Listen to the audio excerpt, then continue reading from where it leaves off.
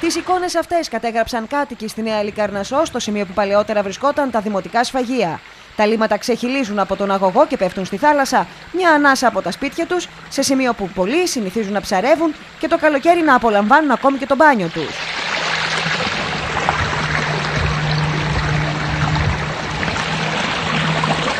Η θέα των λιμάτων έχει εξοργήσει τους κατοίκους που εδώ και καιρό ενημερώνουν τους αρμόδιους, πλην όμως η απάντηση που λαμβάνουν είναι ότι ποτέ οι ίδιοι δεν έχουν βρεθεί σε ώρα που να τρέχει ο αγωγός, οπότε η διερεύνηση της υπόθεσης δεν είναι εφικτή.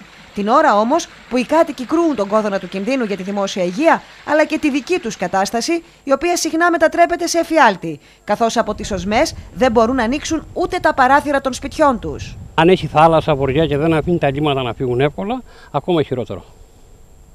Το έχετε συζητήσει αυτό με τις αρχές, έχετε ενημερώσει, έχετε ειδοποιήσει; Έχουν κάνει 10 φορές παράπονα. Όλο θα έρθουν, θα έρθουν να φτιάξουν.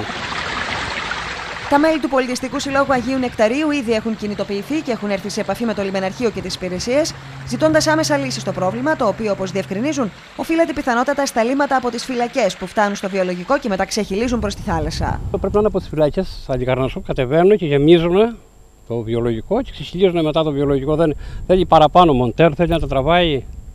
Δεν ξέρουμε τι θέλει. Πάντως, εκείνο που επισήμαναν οι κάτοικοι της περιοχής ήταν ότι η ανυπαρξία κάποια σήμανσης που να προειδοποιεί τους ψαράδες ή τους κολυμβητές που κάνουν το μπάνιο τους αμέριμνους στο σημείο κρύβει πολλούς κινδύνους, αφού τα λίμματα που πέφτουν αρκετά συχνά κάθε άλλο παρά διασφαλίζουν ποιότητα στα νερά.